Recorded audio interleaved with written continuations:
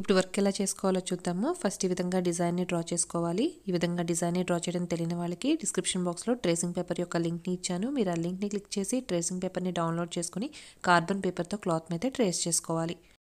ఈ విధంగా డిజైన్ని ట్రేస్ చేసుకున్న తర్వాత ఇప్పుడు ఈ మ్యాంగో షేప్ యొక్క అవుట్లైన్ అందరికీ కూడా గోల్డ్ కలర్ జరీ థ్రెడ్ని తీసుకుని చైన్ స్టిచ్ అంటే గొలుసుకుట్టు వేసుకోవాలి.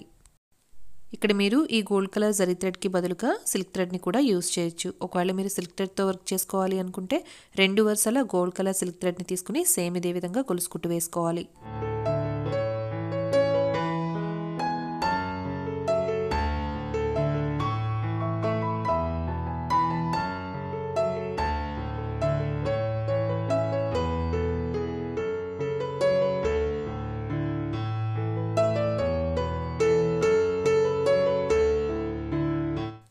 ఈ విధంగా మ్యాంగో షేప్ అవుట్లైన్ అంతటికి గొలుసు కుట్టు వేయడం అయిపోయిన తర్వాత ఇప్పుడు ఈ మ్యాంగో షేప్ లోపలంతా కూడా ఫిల్ చేసుకోవాలి. దానికోసం నేను ఇక్కడ పింక్ కలర్ యాంకర్ కాటన్ థ్రెడ్ని ఈ మ్యాంగో షేప్ యొక్క పైన కార్నర్ నుంచి ఈ విధంగా పైకి తీసుకుని మిడిల్లో కొంచెం డిస్టెన్స్లో నీడిల్ని కిందకి దించేసుకోవాలి.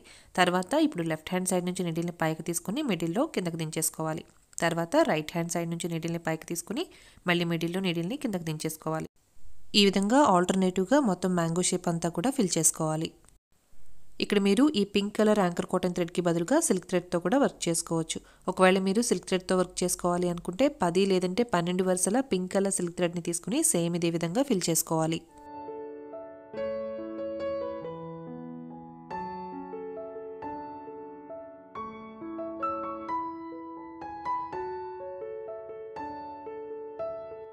ఈ విధంగా మ్యాంగో షేప్ అంతా ఫిల్ చేయడం అయిపోయిన తర్వాత ఇప్పుడు కింద డ్రా చేసుకున్న టూ లీవ్స్ని కూడా ఫిల్ చేసుకోవాలి. దానికోసం నేను ఇక్కడ గ్రీన్ కలర్ యాంకర్ కాటన్ థ్రెడ్ని ఈ లీఫ్ యొక్క పైన కార్నర్ నుంచి పైకి తీసుకోవాలి.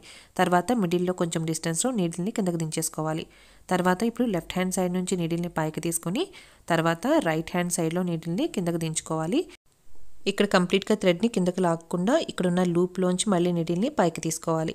ఇప్పుడు మళ్ళీ నీడిల్ని మిడిల్లో కిందకి దించేసుకోవాలి. సేమ్ ఇదే విధంగా మొత్తం లీఫ్ అంతా కూడా ఫిల్ చేసుకోవాలి.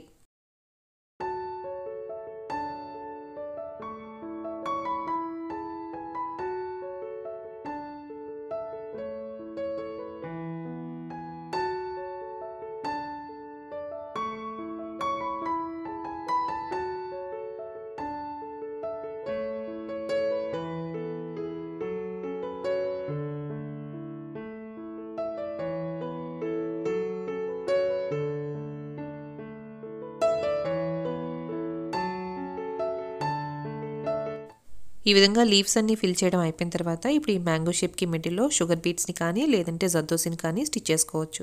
దానికోసం నేను ఇక్కడ నార్మల్ మెషిన్ థ్రెడ్ని తీసుకుని కావాల్సినన్ని షుగర్ బీట్స్ని ఎక్కించుకుని నీడిల్ని విధంగా కిందకి దించేసుకోవాలి. తర్వాత షుగర్ బీట్స్కి మధ్యలో ఒక స్టిచ్ కూడా వేసుకోవాలి. కంప్లీట్గా వర్క్ చేయడం అయిపోయిన తర్వాత బుటాలుక్ ఈ విధంగా ఉంది. ఈ కంప్లీట్ వర్క్లో మీకు కొంచెం ఎక్కువ టైం తీసుకునేది చైన్ స్టిచ్ వేయడానికి మాత్రమే. ఈ విధంగా చైన్ స్టిచ్ వేయడం కష్టంగా ఉంది అనుకునే వాళ్ళు దీనికి బదులుగా మీరు ఈ మ్యాంగో షేప్ యొక్క అవుట్లైన్ అంతటికి గమ్ అప్లై చేసుకుని gold colour round ball chain కూడా స్టిక్ చేసుకోవచ్చు. గోల్డ్ బాల్ చైన్ని స్టిక్ చేసుకుంటే బుటా లుక్ ఈ విధంగా ఉంటుంది. ఈ బుటాస్ని మీరు ఆల్ ఓవర్ ద బ్లౌజ్కి కానీ లేదంటే డ్రెస్సెస్కి యోక్ పార్ట్లో కానీ లేదంటే శారీస్కి మధ్యలో బుటాస్గా కూడా వేసుకోవచ్చు. సో చూసారు కదండి బ్యూటిఫుల్ బుటా వర్క్ని ఏ విధంగా వర్క్ చేసుకోవాలో. నా వీడియో కనుక మీకు నచ్చితే ప్లీజ్ లైక్ చేయండి మీ ఫ్రెండ్స్కి కూడా షేర్ చేయండి కామెంట్ చేయండి అండ్ సబ్స్క్రైబ్ చేసుకోవడం మాత్రం మర్చిపోవద్దు. Thanks for watching